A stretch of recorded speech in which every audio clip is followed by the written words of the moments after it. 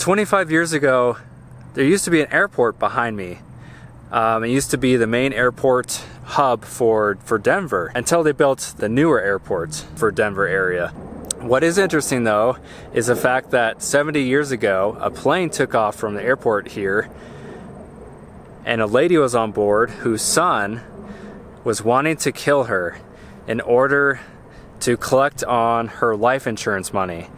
And in order to kill her, he decided to plant a bomb in her suitcase on board the airplane. This has got to be one of the most craziest cases involving a young man trying to collect on their parents' life insurance money by killing them. But not just killing them, by blowing them up in a plane.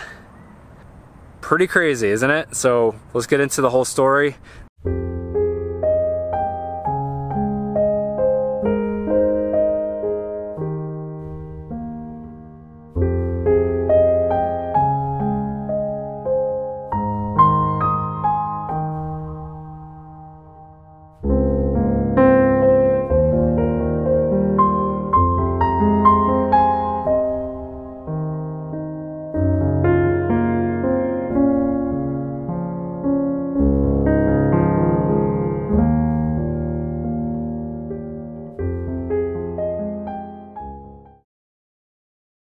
Uh, so right behind me, guys, uh, used to be the Stapleton International Airport. Um, it was in use from 1929 to 1995. Um, they bulldozed the airport, and now it's kind of just a huge park, and then there's some houses, neighborhoods surrounding the park. Um, so this whole area used to be the airport until they built the new airport uh, farther down, and uh, of course now that's the main airport for Denver area. Um, but there used to be an airport here right behind me. Um, oddly enough, we're only about 10 miles or less from the home of James Holmes, uh, the movie theater shooter. So if you guys missed that video, uh, make sure you watch it and check it out. Um, his apartment is like 10 minutes away from me. Um, and of course, the theater where he did it at was in Aurora. This is Central Park, and not to be confused with the New York City Central Park. But anyway, the, it's located here um, in Denver, Colorado. This whole video is is focused on a 23-year-old man named John Jack Gilbert Graham. He went by Jack. Jack was born January 23rd, 1932. Of course, growing up during the Great Depression. So Jack grew up in Denver, Colorado here. His parents were William Graham and Daisy Walker.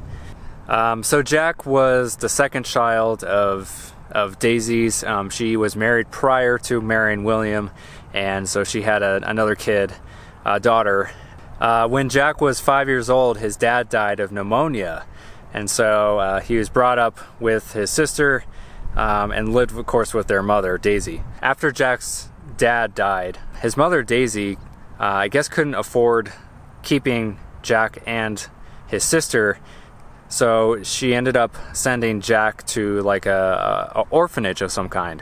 In 1941, Daisy, uh, Jack's mother, got married for a third time to a pretty wealthy businessman uh, unfortunately, the businessman also died, and she was left with his entire wealth. So she was able to start her own business and become quite profitable with the business. Despite Daisy's um, newfound wealth, she still didn't go and and get Jack from the orphanage. She basically just left him there. And I believe she still raised the daughter at, at home, but she left Jack in the orphanage. So, I mean, I can only imagine how Jack must have felt after I'm sure he heard, like, hey, your mom, your mom is doing quite well now. She, uh, she has a new business and she's, she's doing quite well financially.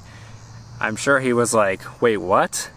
But yet she doesn't, doesn't want me? Like, I would, I would not be very happy either. I, I don't know what the conditions were like, but I, I'm just guessing during the Great Depression in an orphanage, probably not the greatest conditions. So Jack remained estranged from his mother up until 1954 uh, when he was 22 years old. So Daisy uh, ran several businesses and uh, the latest business she had was a restaurant. In 1955, um, shortly before the bombing of the airplane, Daisy's restaurant blew up as well. Coincidentally enough, Jack was thought to have blown up her restaurant. Um, of course, due to his his anger issues and uh, deep resentment towards his mother. The, the police initially thought it was a gas explosion, like a gas leak that caused Daisy's restaurant to blow up. But I think we all know pretty positive that, uh, that Jack was involved. November 1st, 1955. This is the date where Jack wanted to blow up the airplane and of course his mother on it. It was United Airlines flight 629. Uh, so the airplane was bound from Denver, Colorado to Portland, Oregon, and uh, another additional stop was to be made after that into Seattle. Um, of course, that's where I live, which is kind of interesting. Of course, the plane never even got that far. Only a mere couple minutes after takeoff, the whole plane blew up, shredding wreckage all over the place. Most of the debris landing in a town called Longmont, Colorado, which is not that far from here. There was 44 people total on the airplane and there were no survivors. It was just blown to smithereens. It really had not much anything left. Jack somehow was able to uh, stick the bomb he made. Um, it was made out of dynamite. He was able to stick that in her in her suitcase, and of course her suitcase got put on board and uh, it blew up. On that day, Daisy was actually going to fly to Alaska to to see her daughter. Um, so it sounds like her daughter, uh, which would have been Jack's sister, didn't live with Daisy um, at that time. I guess she eventually moved out and moved to Alaska. So so Daisy was going to Alaska to visit her. The life insurance money, Jack was again hoping to collect on his mother's life insurance. Uh, at the time, uh, her life insurance money would have paid out to a sum of about $37,500, which again in today's money due to inflation would have been in the neighborhood of $360,000. Yes, I, I, can, to some degree, I can get why he had such deep resentment for his mother, but on the same same token, there's other ways to handle your resentment. Um, how about talking it over with her, asking her why she did what she did, um, or just maybe not seeing her ever again if it's really that that bad of an issue. But uh, killing killing your own parents or your mother like that um, because you have deep resentment over them and uh, you just want to steal their money. It's just it's just sad. It's really sad that people come to that point, but that's what Jack was thinking at the time. He wanted to get rich quick and again, just hated his mother. So the way that Jack was caught um, was that investigators learned that Jack was uh, arrested prior for a forgery where he forged some checks. He was arrested for forgery, embezzlement, and illegal transport of whiskey and he served 60 days in jail um, for those crimes. So the investigators found out his prior criminal history. They also learned that uh, his mother, Daisy's restaurant, blew up.